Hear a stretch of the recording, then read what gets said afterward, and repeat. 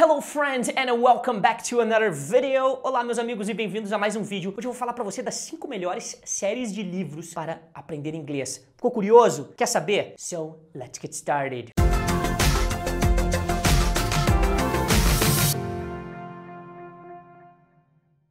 Claro que existem muito mais do que cinco séries de livros, mas como eu sempre digo, eu preciso fazer, limitar, né, fazer uma lista, não posso ficar falando de um milhão de livros aqui. Eu escolhi algumas que eu acho legal, que tem uma linguagem legal para você aprender inglês, né, uma linguagem mais fácil aí. Espero que vocês curtam estas séries. E você pode encontrar esses livros tanto no Kindle, que seria o aplicativo para ler livros digitais da Amazon. Se você não sabe o que é, procura aí no Google que você vai entender como é que funciona. Até porque eu vou falar muito da versão digital desses livros aqui, porque é mais barato. Ou você pode encontrar também alguns desses livros em uma loja que vende livros usados, isso é comum, ou talvez na biblioteca da faculdade onde você estuda, ou na faculdade onde o seu irmão, sua irmã, o seu filho, a sua filha estuda, você vai lá e pede para achar determinado livro para você, certo? Então o primeiro é o Penguin Readers. O que é o Penguin Readers? Penguin Readers é uma série de livros feita para pessoas que estão aprendendo inglês. Você encontra esses livros em livrarias, eles custam na faixa de 35 a 40 reais. Eu acho às vezes que é um pouco caro, mas enfim, eles estão disponíveis em torno de 4 a 8 dólares no Amazon, né? Vai lá no amazon.com e procura Penguin Readers, como está escrito aqui, e aí você vai ver que tem vários livros dessa série, mostra o nível e tudo mais. Você compra e vai ler eles no Kindle, que é gratuito, funciona em qualquer celular. Número 2 é a série A to Z Mysteries. É uma série de mistérios para crianças. Ela já é bem antiga e ela foi considerada uma das séries de leitura mais fácil, né, para as crianças. Então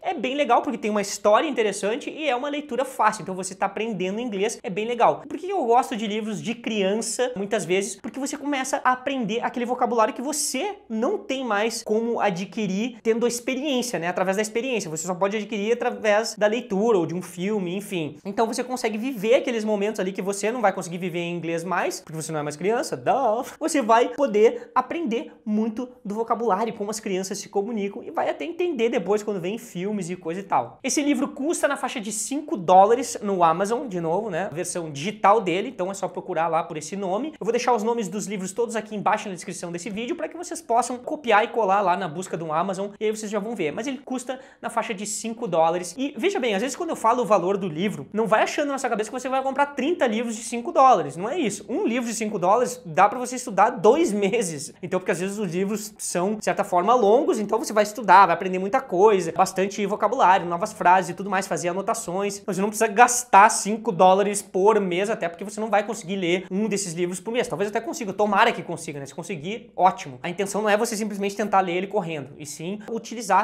como material de prática e estudo. Número 3 é a série de livros que conta a história de Johnny B. Jones. É uma criancinha de 5 anos, tem um baby brother, né? Que é um irmão nenê. Então você fala baby brother, que é seu irmão mais novo, né? Então ela conta a história dela no colégio, sobre os medos que ela tem, as aventuras que ela participa e ela vive com os pais. Então tem toda essa história, como eu falei, vocabulário de criança, de colégio, de coisas que a gente não pôde experimentar vivendo o inglês e sim temos que experimentar através da leitura ou de filmes para aprender esse tipo de vocabulário. Então é uma série de livros bem famosa nos Estados Unidos e super legal para você ler e talvez quando você aprender mais ou já sabe, você pode ler pro seu filho se você quiser ter um filho bilíngue. Que legal, né?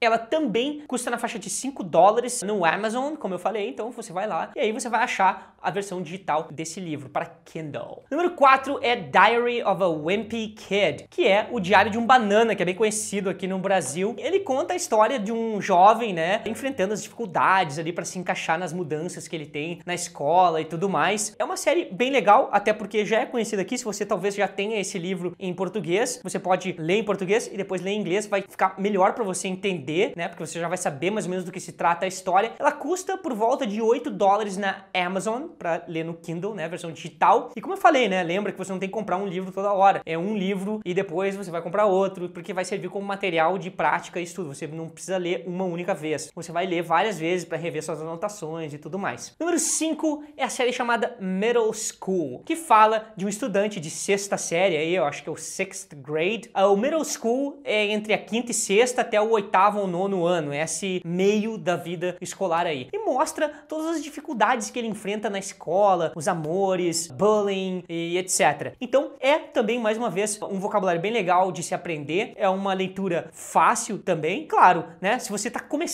lá do zerão mesmo, eu não indico você ler esses livros e sim começar com textos mais básicos, como aqueles que eu indico no meu guia que tem aqui para você fazer o download aqui na descrição. Mas se você já tem um determinado conhecimento e aí já conhece algumas frases, mais vocabulário, você pode começar a tentar ler livros um pouquinho mais avançados. Alright, my friends, espero que vocês tenham curtido essa lista de séries de livros, espero que vocês possam ler alguns deles. Lembre-se que eu falei bastante aqui da versão digital, né, desses livros. Esse último que eu disse custa entre 6 e 8 dólares na Amazon. Eu falo bastante disso porque é o jeito mais fácil de conseguir esses livros, principalmente para aquela série da Pinguim, o Penguin Readers. Você pode procurar em loja de livros usados, porque eu já vi isso nesse tipo de loja e já vi também em biblioteca, né, na biblioteca onde eu estudava. Então, espero que vocês tenham curtido. Muito obrigado por assistir esse vídeo. Deixe aí seus comentários se vocês já conhecem alguma dessas séries de livros e, claro, inscreva-se no canal. Thank you very much for watching and I'll see you next class.